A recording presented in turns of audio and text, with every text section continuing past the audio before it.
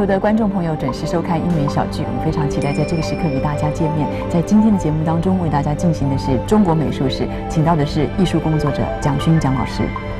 今天的中国美术史，蒋勋老师要继续为我们来介绍北宋张择端的《清明上河图》。所以我们讲到北宋张择端的这张《清明上河图》啊，等于是用五百二十八公分的长度来描绘。他当时所居住的这个北宋的首都就是汴梁，也就是现在所说的河南的开封。呃，我们说到一个城市这么庞大，那你必须要有一个结构的观念，你才知道怎么去画这个城市。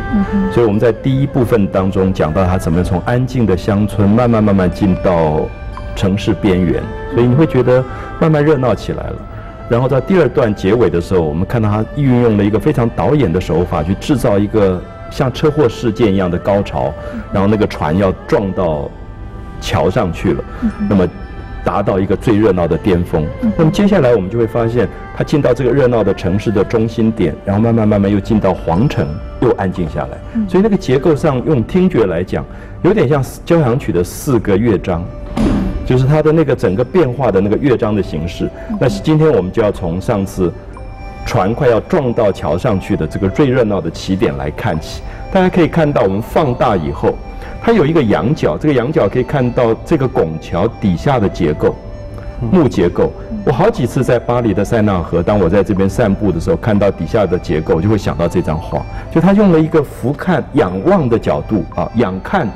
这个结构，所以我们说这个。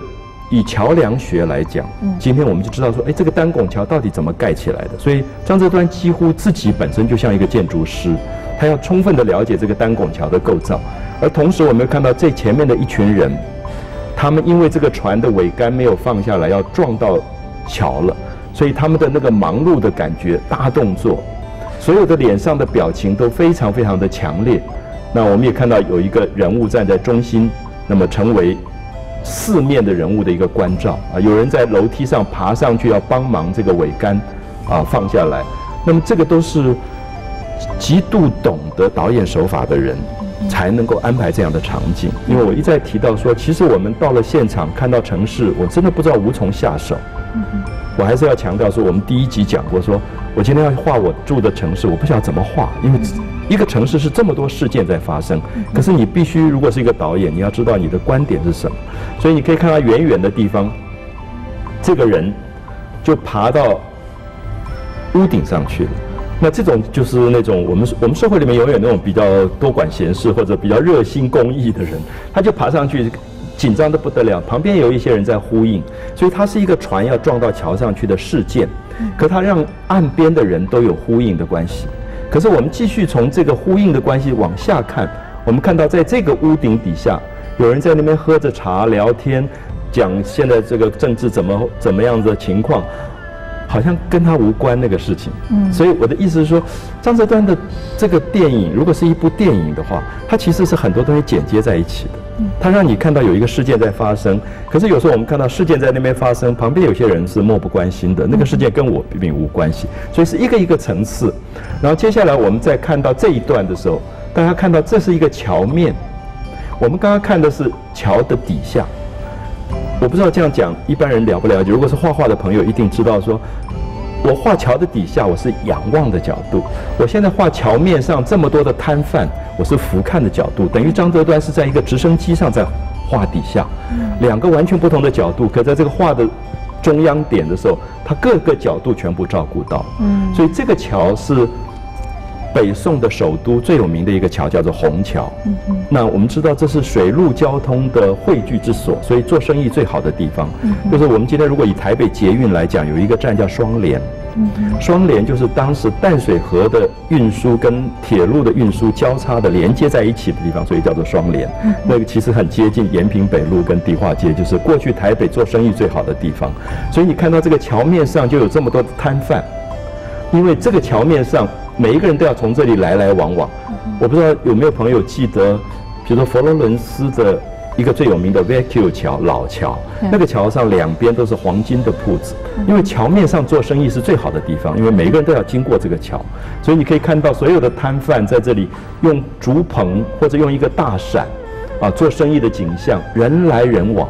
那这个是城市最密聚的，啊，最密集的地方。所以他画了刚才桥底下的船要过去的景象，同时又在画桥面上做生意的这些人的这些景象。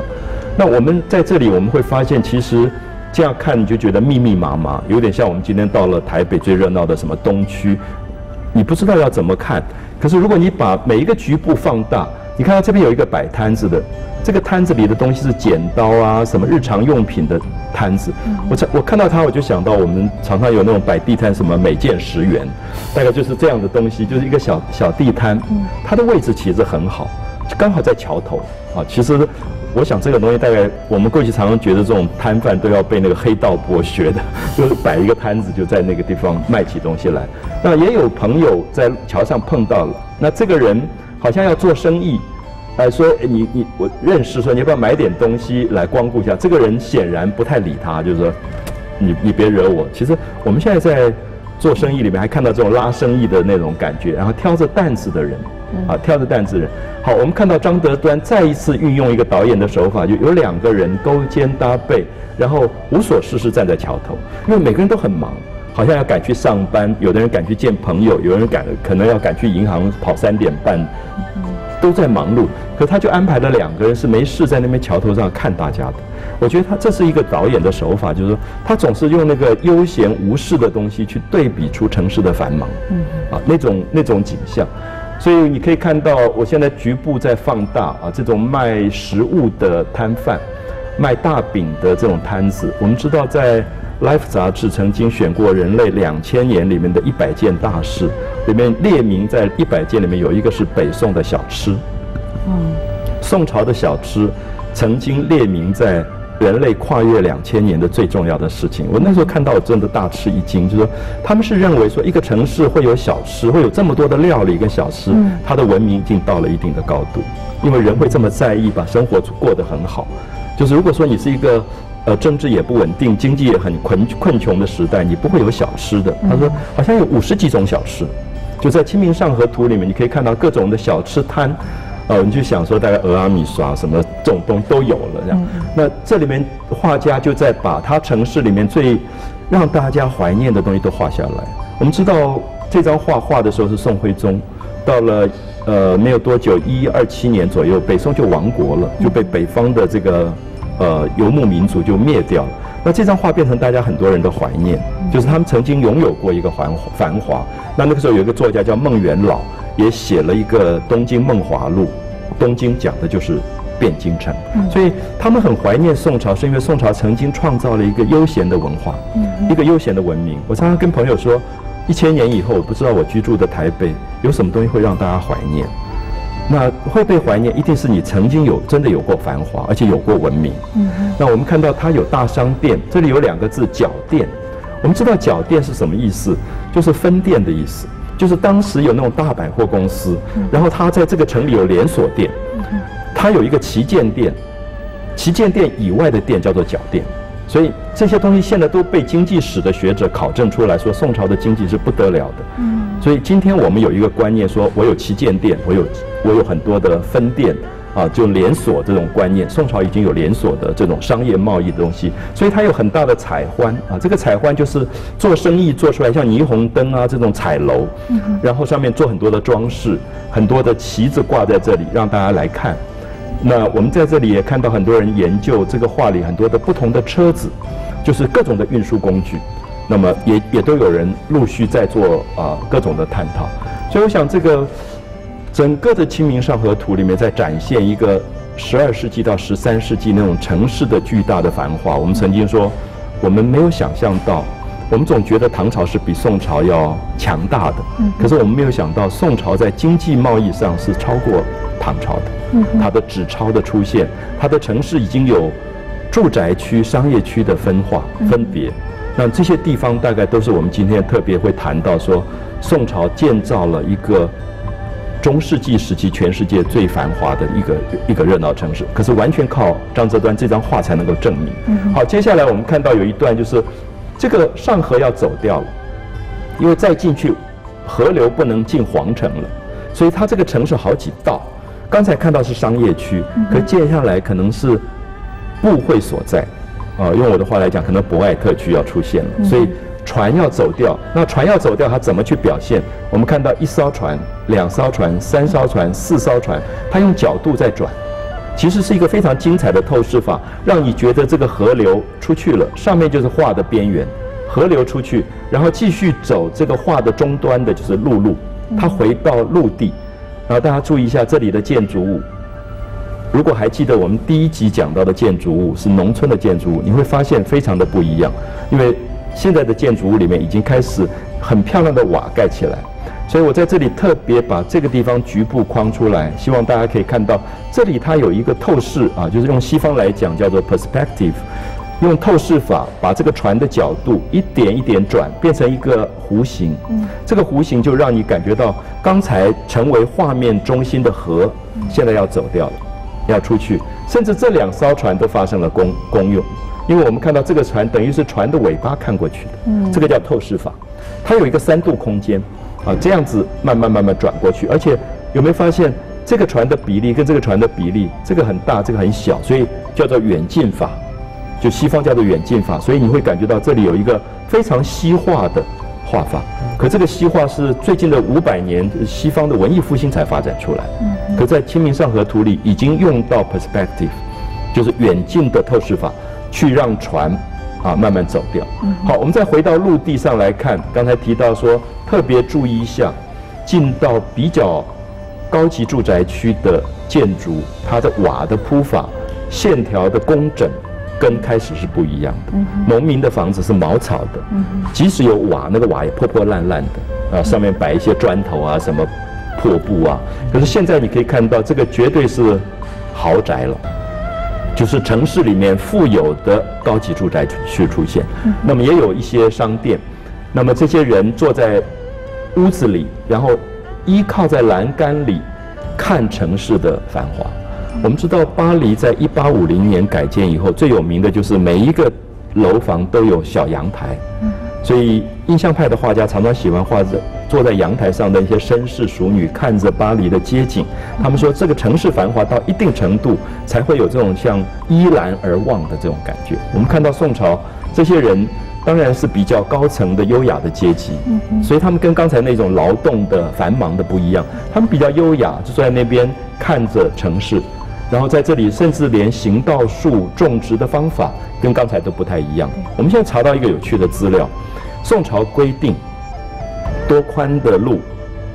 旁边一定要用行道树，而行道树是由两边的住宅管理的。然后要叫做街廊，就是我有点像我们的骑楼啊，廊就是走廊的廊，街廊。那如果你把你家里的东西摆到街廊，比如，比如你把一个摩托车摆在不应该摆的骑楼底下，有有亲街廊钱，就要罚钱的。我们看到这个是近代城市才有的观念，跟宋朝已经有，就等于是他管理一百万人口，交通上面你不能够随便侵占公共空间啊，他已经有这个叫做亲街廊钱这一类的处罚。好，现在我们就看到水河流出去了以后就是陆路，这是一个十字路的大街。那我想，很像我们比如说，呃，这个什么忠孝路跟敦化路的交叉口，就是最热闹的繁华的大街道。那我还是要强调，大家看到这里的建筑物都是比较工整的、规矩的。然后城市里面的大车子，这种运输的工，两条黄牛拉的大的车子，然后在这个转角的部分，永远都是做生意最好的地方，大概都是酒楼或者客栈。或者是我们今天说咖啡厅这种地方，啊，就是因为一般的人可以在这边聊天休闲，然后他们也可以看街景，啊，然后有小轿子，轿子都是女人，那女人不能够随便下来，那可能有一个奶妈在旁边陪着，然后她会在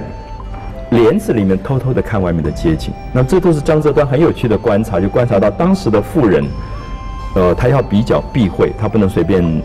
抛头露面，所以他们就会坐在。一乘小轿里，我现在放大一下，我们今天要有的城市要有的东西，当时大概都有。比如说，可能现在有加油站，汽车有加油站，那个时候有汽车车子的修车轮的这种地方，一定是在最重要的位置，因为常常在交通上发生问题，抛锚啦或者塞车啊，他就要修车轮的东西。那这些人就在看这些马啊，它等于是一个小客栈，然后马停在这边。可能叫一杯茶，喝杯茶以后再继续上路，所以你也会发现街道上比较干净，跟我们前面看到的那种农村的景象，它都比较有清扫的那种感觉。那这个地方曾经被放大，我们看到这个修车轮的工人，所有的工具的细节，全部都在这里。那么这边又有人啊在卖膏药啊，然后讲故事啊，你可以看到一群人围到这里。其实我童年常常看到这种景象，就这个人可能要卖一些东西，可他必须要有一个本事，他必须很会说故事，大家才会停下来。因为你看到这个人正在走着，他回头再看，看一看他觉得诶很好听，他可能就留下来了。就是当时等于说书，路边说书的这些人啊，然后大家围在这里看。那刚才讲到这个小轿子。很神秘啊，那个女人你看不到，她是一层层的帘子。可是那个奶妈，她好像跟他讲说，她可能想要喝点什么东西，她可能去帮他买。可她在轿子里，她是不能下来的。甚至在那个客店里面，有人认为这个地方是一个菜单，就是今天的特餐什么之类，是一个菜谱写在用书法写在这里，然后大家可以知道说这今天他的餐厅里大概卖什么样的菜。啊，就是我刚才提到说，被认为北宋。表现它文明最了不起的地方，是因为它有五十几种小吃。好，所以这个已经进到很内城的这个部分。呃，这里有一个衙门，要投书的人，然后在这边等待换文啊换文件的这些人都在这个地方。那这里有一个有趣的东西，等一下如果放大，大家会看得更清楚，就是一个算命的。城市里面有很多外地来的人，这些外地的人来打拼。做生意、求学、找工作，常常前途茫茫。所以这种人就会算命。我们记得以前衡阳街好多算命的人，然后你会发现神算啊、看命这些挂在上面，然后这些人就等在这边算命，所以生意好的不得了。然后有一个人大概算完命以后，大概结局不太好，就坐在那边这样发呆。我就觉得他在观察城市，城市其实是有很多心情的。城市。最有趣的地方，因为城市本身是很多人口会流动的。比如说，我们常常讲说，今天真正的台北人跟流动人口那个差距很大。很多人是来往于这个繁华的城市，所以他就借着这个算命啊这种东西，呃，异地的外乡人的感觉啊，牛车轿子来往的东西，去把城市的那个感觉整个带出来。那甚至连行道树的这种树根跟旁边的那个街廊的感觉都画出来。所以我们大概可以看到，呃，